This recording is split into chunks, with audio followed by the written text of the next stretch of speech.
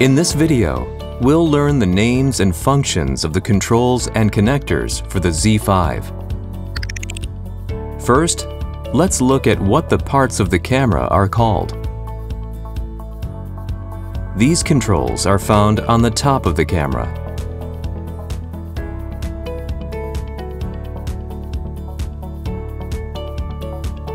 These controls are on the front.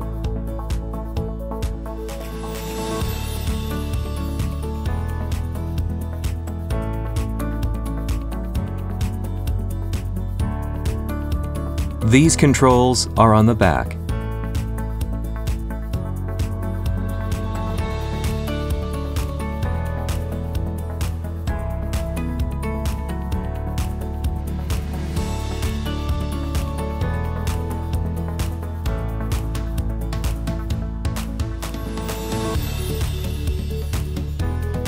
These connectors are on the side of the camera.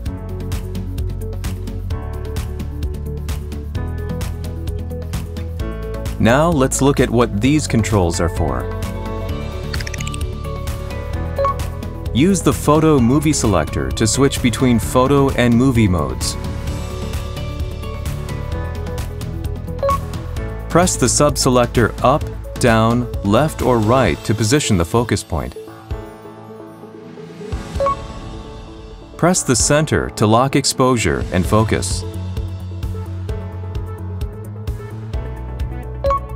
Press the DISP button to cycle the display as shown.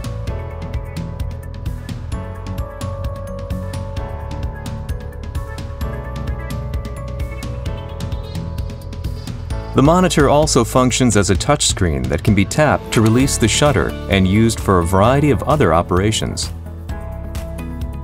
You can angle the monitor as shown.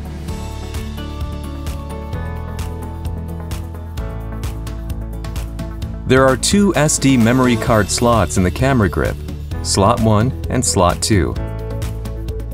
The camera can be used with two memory cards.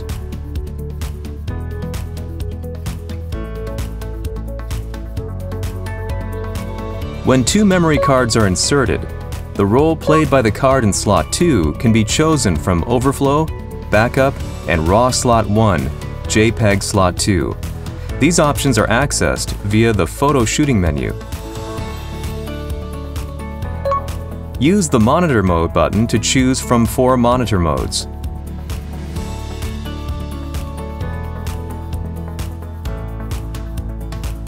When Automatic Display Switch is selected, the eye sensor will switch the display from the monitor to the viewfinder when you put your eye to the viewfinder, and back to the monitor when you take your eye away. If the image in the viewfinder is not in focus, focus can be adjusted by lifting and rotating the diopter adjustment control. You can choose the roles played by the FN1 and FN2 buttons.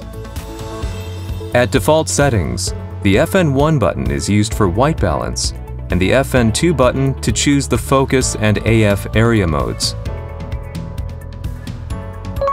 Hold the button and rotate the command dials to choose a setting.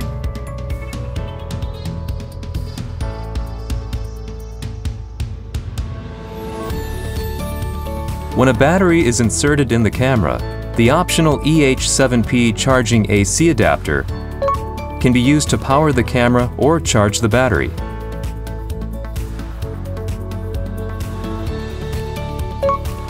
Confirm that Enable is selected for USB power delivery in the Setup menu.